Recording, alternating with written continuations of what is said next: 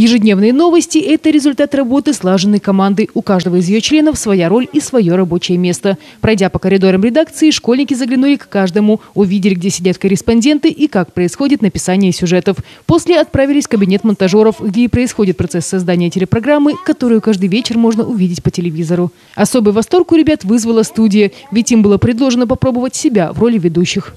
В эфире программа «Пульс города». Меня зовут Рузанова Дарина.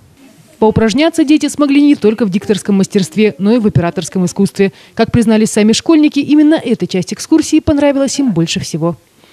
Мне очень сегодня понравилось чувствовать себя ведущим. Мне понравилось здесь все. Как наша учительница снималась.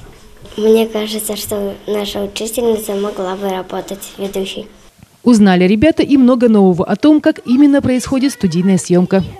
Я сегодня узнал, что здесь э, есть э, звуконепроницаемое стекло, хотя я думал, что его здесь нету. И все молчат, когда, когда снимают. Сегодня они приоткрыли для себя завесу мира телевидения. И, глядя на их горящие глаза, несложно себе представить, что кто-нибудь из них, когда вырастет, вернется к нам уже в качестве корреспондента, оператора или ведущего программы.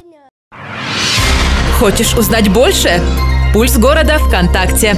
Все самое актуальное и интересное. Заходи, комментируй, предлагай свои новости.